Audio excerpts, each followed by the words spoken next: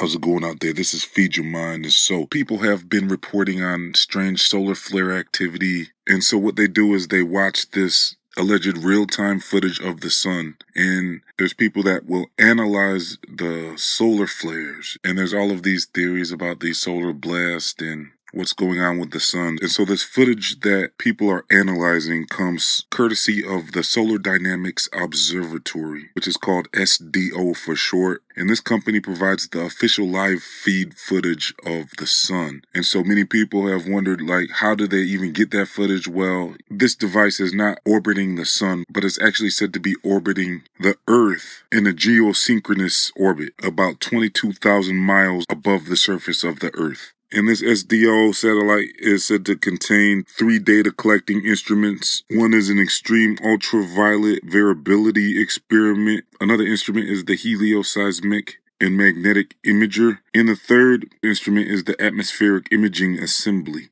And so the helioseismic and magnetic imager is said to take measurements of the magnetic field of the sun. And it also studies the corona and estimates internal dynamics of the sun. And so the second instrument, which is the extreme ultraviolet variability experiment, this instrument measures the relationship between the extreme ultraviolet variations and the magnetic variations and so, what they discovered with this second instrument is that the UV blast of the sun interacts with the ionosphere, or what you could consider the dome firmament. And so, these solar flares are said to actually interfere with satellite communications. And they're also saying this UV interaction also can heat up the atmosphere with solar radiation. And so when you apply this information to the dome firmament, it's pretty much the same thing. And so lastly, the third instrument, which is the atmospheric imagery assembly. Well, this device views the sun continuously in seven different extreme UV channels. And it is also said to measure the temperature of the sun. And so basically all of this information is collected by this SDO satellite and beamed back to NASA.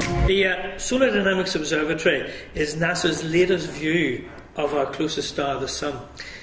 SDO, as it's known as, is going to be launched on, uh, uh, in February 2010 and really revolutionise our understanding of our Sun Earth connection with images that are 10 times better than what we have on HD television, with a, every image being taken every 10 seconds and continuously streaming down towards the Earth. This uh, tidal wave of data will, will be coming here to the University of Central Lancashire, where scientists will try to understand what these observations actually mean, and in particular, what the sun's outer atmosphere is, is all about.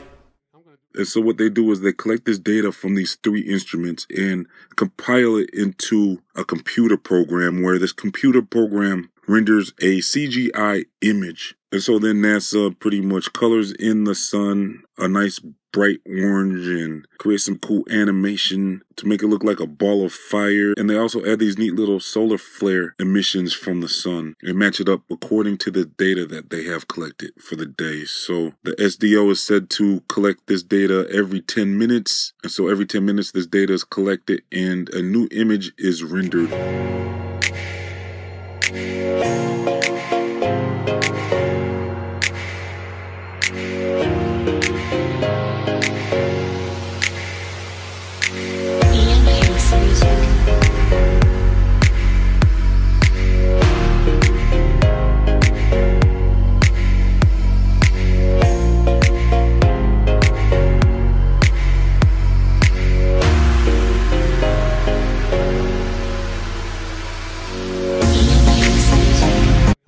Riff for a minute because so many people accuse me of lying to them. They tell me I'm using false colors. Okay, I'm not. Okay, the colors that you see on any image from the, the Solar Dynamics Observatory, they're not false colors, they're just lies. Okay, in general, you can't see the light that we're trying to show you. Um, we, if you want, we can show you, we have 36 million images from our spacecraft right now. I can show them all to you in black and white. Would you like that? Or would you rather see that cool orange that I showed you before? So for all of you out there who thought you were analyzing and observing actual live footage of the sun, this whole time you're actually analyzing a cartoon image. And so that also makes me wonder if these solar flares are even what they are telling us they are. And so when you compile a day's worth of imagery together, this computer program will create a movie for the observer to see all of the sun activity that was going on throughout the day. Okay. And the other thing you're going to see is that we we have gotten into the practice of never showing you an image. You're going to see a couple images now because it just didn't work the way I wanted to do this. But you're going to see a lot of, of really funky stop action movies because we have so many images, we just put them together and make movies out of everything. I mean, that's the cool thing about SDO is that in general, we have some, we, we can look at what happened and what happened before and what happened afterwards, and we're going to show it to you because that's what we're doing now. Okay, that's the sun you're used to looking at, right? Now, I told you every one of these colors is a lie. That should be blue. Okay, but most people would not like that to be blue. They want it to be yellow, so it's been made yellow. 6 million Kelvin, 10 million Kelvin. Oh, what's that? Who ordered that? That is what we really want to measure. That's the magnetic field of the sun. If it's white, it's magnetic field that's pointing towards you. If it's black, it's magnetic field pointing away from you. Okay, here's the sun today. I made these this morning. I downloaded several hundred images from SDO. I put them into some software and I made myself a movie. You can do that too. I didn't get any special data. This is data available at our website. And uh, you know, you, you got to do some programming. Um, you know, you have to get some work into it.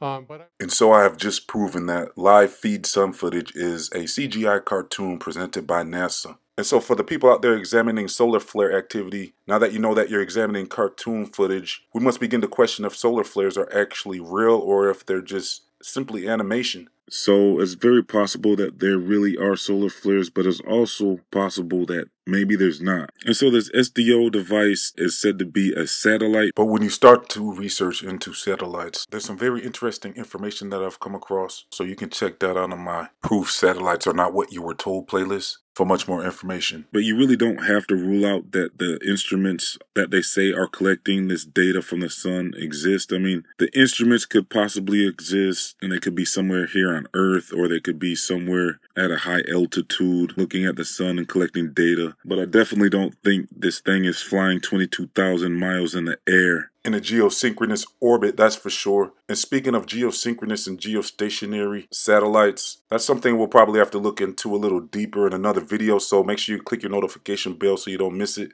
And one last thing I would like to add is that now that we know that the live feed sun footage is animation, and we put that with my previous video, The Earth is Not What You Were Told, where I proved that all pictures and footage of the Earth is all CGI imagery as well, you must begin to question all of the pictures that you are seeing that are being presented to you by NASA. I will prove to you in another video that pretty much all images that you see from NASA are CGI images. So really, what does that tell you about outer space and the heliocentric solar system. This video should be the red pill for you to wake up from how you just believe all these pictures and images that you're seeing from NASA without even questioning them. Now is the time for you to start waking up and understanding that something is going on here for sure. So Check out my heliocentric deception playlist for much more information. I'll leave the link in the comment section in the description box. Simply enter your email address at feedyourmind1.com. That way I can send you some cool news briefs throughout the week. It's completely free. Please chip in one to five bucks to help keep Feed Your Mind on YouTube by joining my VIP room. I'll leave a link in the comment section in the description box. Please like, comment, share, and subscribe, and click your notification bell. Include the title of your favorite video, and you're automatically entered into a chance to win a free gift from my Feed Your Mind pop-up shop.